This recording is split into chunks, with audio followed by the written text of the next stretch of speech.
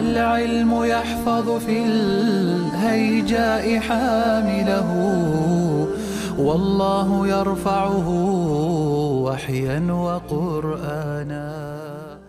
بسم الله الرحمن الرحيم. الحمد لله رب العالمين والصلاة والسلام على رسوله محمد وعلى آله وأصحابه أجمعين. وبعد alloh subhanava taolodan madad so'rab biz hidoya darsimizni davom ettiramiz ho'p bugungi darsimiz e, kitabu siyardan faslun fit tanfil g'animatlarda bo'lgan bo'lish haqida o'tgan darslarimizda aytgan edik.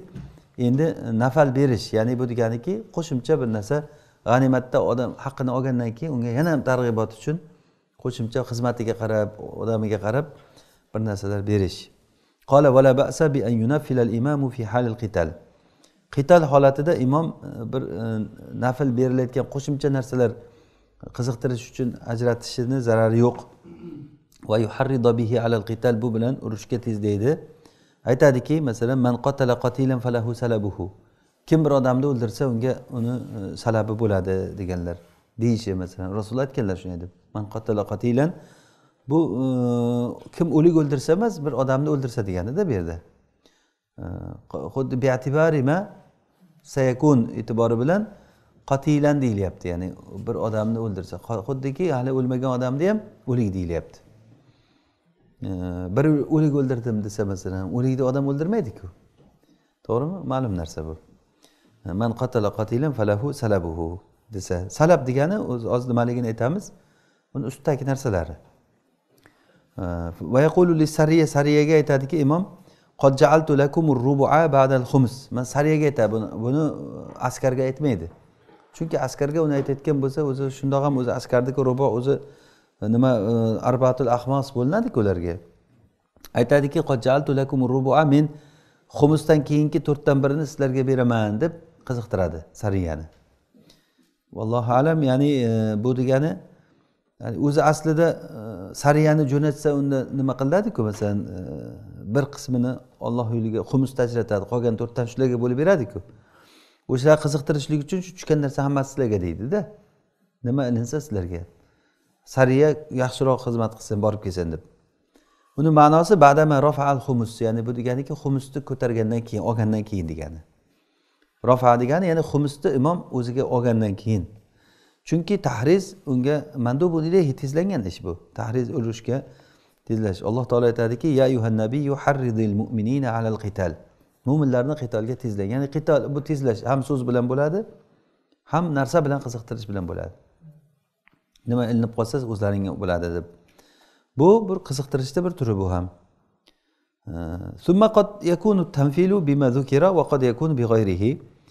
Gohida bu e, qo'shimcha narsa berish hozir aytgan narsalar bilan bo'ladi. Masalan man qotala qotilan falahu salabuhu deyish bilan yoki boshqa gaplar bilan bo'ladi. Boshqacha yo'l bilan ham bo'ladi. Bu. Illa annahu la yanbaghi lil imam. Lekin imomga loyiq bo'lmaydiki an bi kullil olingan narsani hammasini shularga berib yuborishimiz bir odamga berib yuborishimiz chunki birovni haqqini botil qilish borda bu yerda. G'animat olganlar degani. Chunki unda hammani haqqini ibtol qilish yo'qqa chiqarish bo'lib qoladi. Birovni haqqini berib yuborish bo'ladi. Agar shunday bu ishni sariya bilan birga shunday ishni qilsa joiz bo'laveradi. Chunki tasarruf o'ziga hozir e, tepada aytdiku deb. Uni sariyaga aytyapti uni. Agar sariya bilan bo'lsa bu bo'laveradi chunki tasarruf o'ziga tegishli. Gohida maslahat o'shanda bo'lishi mumkin. E, masalan bu sariyani qilayotgan ishini ko'p odamlar qilolmaydi. Ko'pincha u sariya o'lib ketishi ham mumkin. Shunday bo'lgan ham masalan jo'natilgan odamlar bitta ham qaytib kelmagan joylari bo'lgan. Joy bo'lishi mumkin. O'sha lekin askar bo'lsa bu katta narsa. Ular bir birini himoya qiladi qo'shin bo'lib borgandan keyin u boshqa narsa. G'animatni doril islomga olib ketgandan keyin keyin nafal ajratmaydi. Bu keyin hammani haqqi nima bo'ldi? Taakkada haqquhum deganday haqlari aniq bo'lib bo'ldi. Chunki boshqani o'zgani haqqi akkada fihi bil ihroz. Ihroz bilan unda e, ta'kidlandi. O'ziniki bo'ldi endi. Askarlarni haqqi taliq topdi bu yerda qola illa minal xumus illa xumusdan bo'lsa xumusdan nafal beraveradi imom. Chunki xumusda g'animatga olganlarni e, uchun haq yo'q. Ya'ni xumus imom o'zi taqsimlab berayotgan narsa. O'sha haligi e, o'zini ishtihodi bilan o'shalarga qo'shimcha narsa deb bersa haqqi bor ekan deyapti.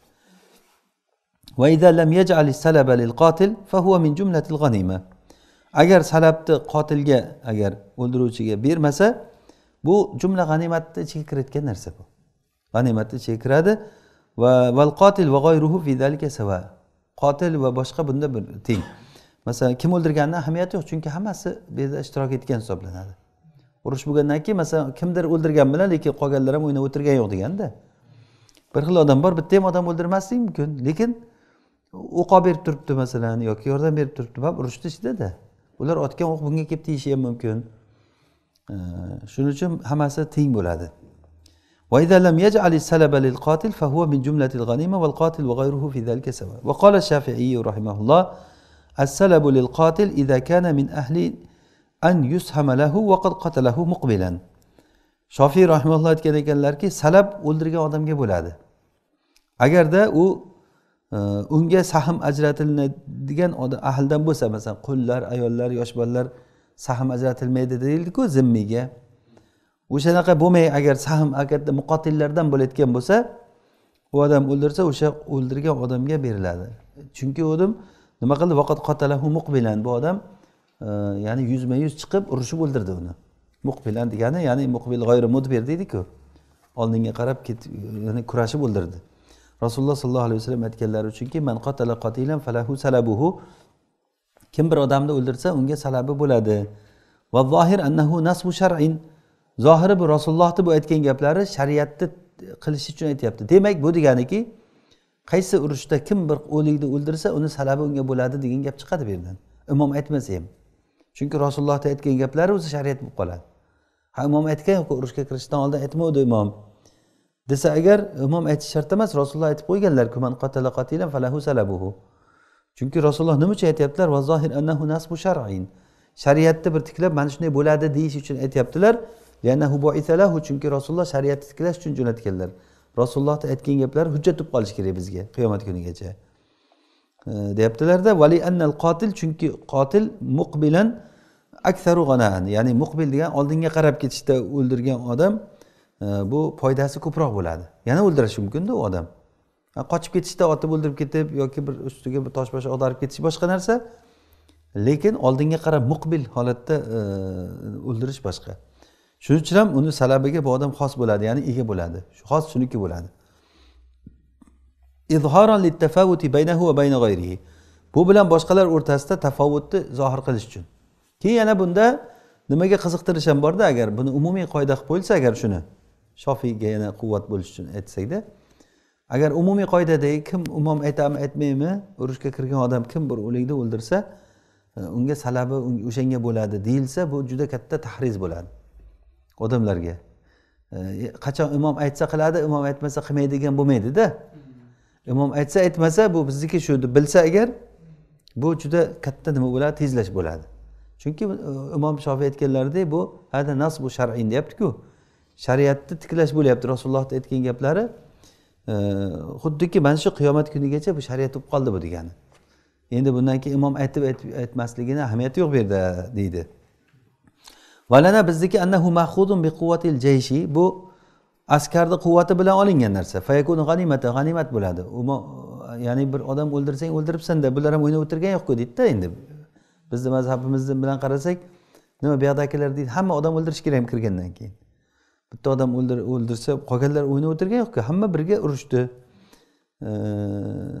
Ya'ni bitta odam o'ldirgan odam nima olsada qolgan odamlar nima qiladi endi bu yoqda? Deydi. Demak bu g'animat bo'ladi hammani haqqi bo'ladi. G'animatlarni taqsimoti bilan taqsimlanadi. Xuddi nasda kelgandek g'animatlar biz avvaldan o'rganib kelganimiz qanday bo'linsa shunday bo'linadi. Vaqola sallallohu alayhi vasallam e, habib ibn abi salamaga aytganlar laysa laka min salabi qatilika illama tobat bihi nafsu imamik. Sen o'ldirgan odamingni nima salabidan seni imomingni nimasi ko'ngli unga nimaga agar rozi bo'lgan bo'lsa imoming rozi bo'lib bergan bo'lsa o'shani olgin ya'ni bu deganiki o'ldirding bo'ldi u seni haqqing imoming rozi bo'ladimi rozi bo'lmaydimi seniki u demadilar demak imom bersa bo'ladi degani. Hadisda aytilingan rivoyat qilgan narsasi man qatala qatilan falahu salabuhu deb rivoyat qilgani yahtamilu nasba shar'iy shariatni tiklash uchun aytgan bo'lishi ham mumkin. Ya'ni bu shariat bo'lib qoladi qiyomat kunigacha. Kim bir qotilni o'ldirsa unga salabi bo'ladi. Bu shunaqa hukm bo'lib qolsin deb ham aytgan bo'lishi mumkin. Shofiy aytganday va yahtamilu tanfil va nafl uchun ham aytgan bo'lishi ham mumkin. Ya'ni urushga kirishdan oldin qiziqtirish uchun. Kim agar nima qilayotgan bo'lsa masalan eng chiroyli joriyani o'shanga beraman desa masalan bu ham bir nima deyiladi? Nafal berish degani tanfil bu ham. Biz rivoyat qilgan narsa uchun ikkinchisiga hamal qilamiz. Ya'ni ikkinchisi nima edi? Nafl uchun. Mana bu hadisda mana habib ibn abi salamaga aytganlaridek imoming rozi bo'lsa bo'ladi bu nafl uchun.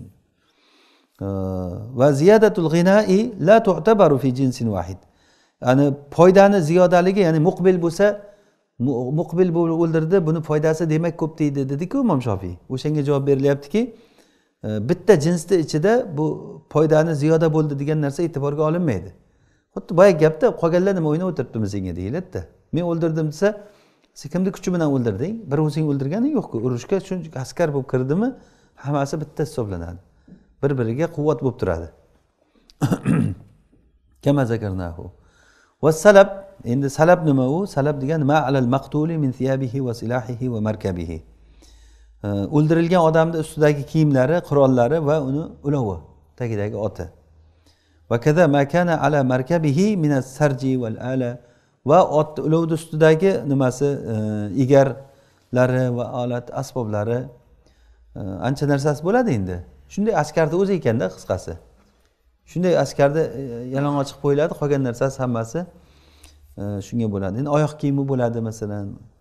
E, shunga o'xshagan ko'p narsasi chiqadi agar bunday qarasangiz. Maahu ala dabba uni ustidagi nimasi hayvonni ustidagi narsalar min malihi fi haqibatihi av ala vasatihi haqibasida bo'lsa e, nimasida nima so'mkasida yoki setkasi deymizmi xaltachasida. Yoki bo'lmasa vostihi o'rtasiga beliga bog'lab olgan bo'lsa o'ziga. Puli bo'lsa masalan cho'ntagidan pul chiqsa masalan. Va bundan boshqa narsalari bo'lsa salab emas. Yana nima bo'lishi mumkin bundan boshqa narsa? Masalan qullarini italab chiqqan bo'lishi mumkin. Qullar meni himoya qilib turasizlar men urushga kiraman sizlar menga kim tashlansa sizlar ishlaring men bo'ladi. Deb ham chiqishi mumkinda bittasi masalan. Ham o'zi urushga qatnashib ham o'lishni xohlamaydi masalan. O'shanday qilib ham kirgan bo'lishi mumkin. Qarang yana boshqa nimani ustidagi ulovni ustidagi o'zini xizmatchisi bilan bo'lgan narsalar bo'lsa u salab emas u g'animatga kiradi u. Salab faqatgina o'sha e, o'ldirilgan odamni ustidagi narsa ekanda keyin nafal berishni nimasi e, hukmi? Bu qolganlarni haqqini o'zi beradi. Ya'ni bu deganiki imom masalan nafal qilib bir odamga ajratib berdiku. Ajratib bersa qolganlarni haqqi bo'ldi bularni haqqi yo'q degan narsani beradi.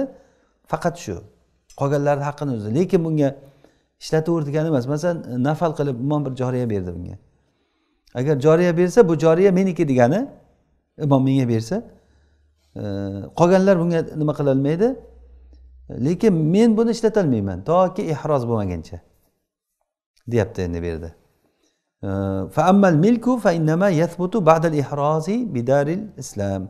Ammo milk bo'lsa qachon sobit bo'ladi? Daril islomga olib borib ehroz qilgandan keyin olib borib o'ziniki qilib olgandan keyin bo'ldi endi endi seniki deyiladi. Ungacha bu haligi zaynat qilib qo'ydi deyiladiku nafal degani o'shanaqangi uni band qilib qo'yish degani seniki bo'ldi degan gap bo'ladi. Seniki bo'ldi degani bo'ldi boshqalarni haqqini bu nima qilish uchun e, kesish uchun. Lekin bu degani sen ishlataver buni degani emas bu.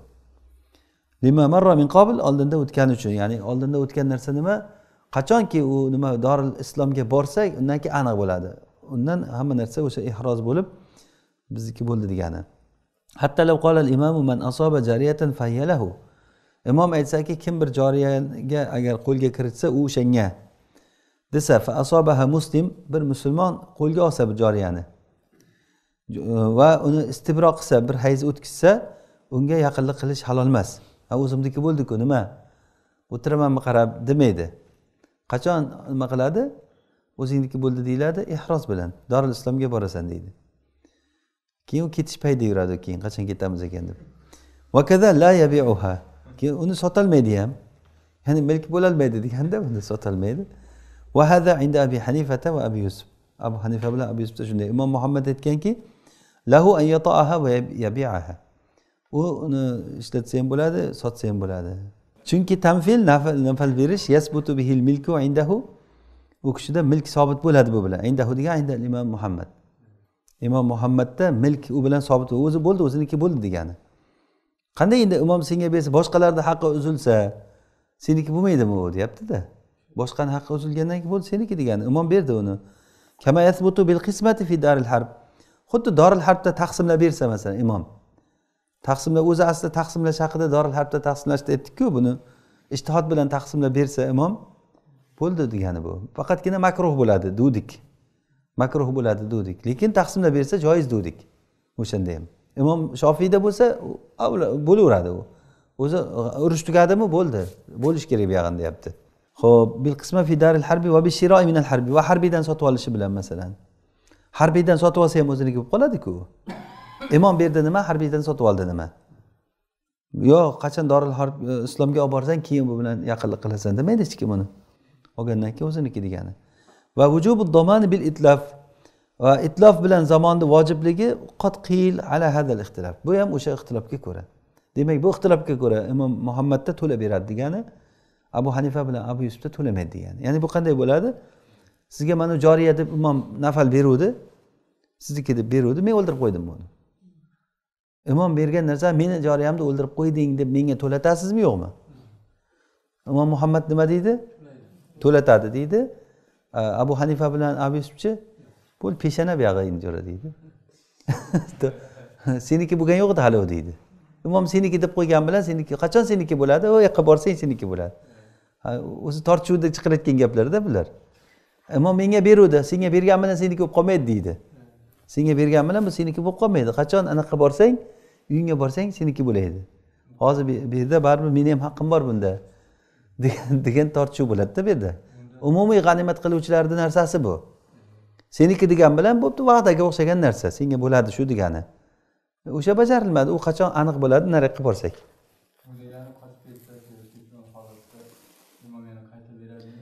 Yo yo vujubi domon bil itlaf deyapti. Qochib ketish boshqa narsa. Qochib ketsa hech kim to'lamaydi uni. Imom nima qaytib beradi unga? U qochib ketsa ketdi degan o'lib qolsa qochib ketsa u boshqa narsa. Itlof bilan degani. Birov itlof qilib qo'ysa o'ldirib qo'ysa birov. O'shani yo urib shipsini sindirib qo'ysa masalan o'shani tishini diyasini to'latib beradimi buni? Shunga o'xshagan narsalarda haqqi bormi yo'qmi deganda mana shu ixtilofga ko'ra. Imom muhammadda to'liq xuddi sizni joriyangizga nima qilib qo'ysa nima jazo bo'lsa doril islomda o'sha yerda ham shu. Ko'zini ko'r qo'ysa nima jazo beriladi? Masalan tishini sindirib qo'ysangiz nima bo'ladi? Yoki o'ldirib qo'ysangiz nima beriladi? O'sha o'sha narsa aynan. Vallohu alam va sallallohu ala sayyidina nabiyina muhammad va ala alihi va ashabihi ajmain. Alhamdulillahi robbil alamin.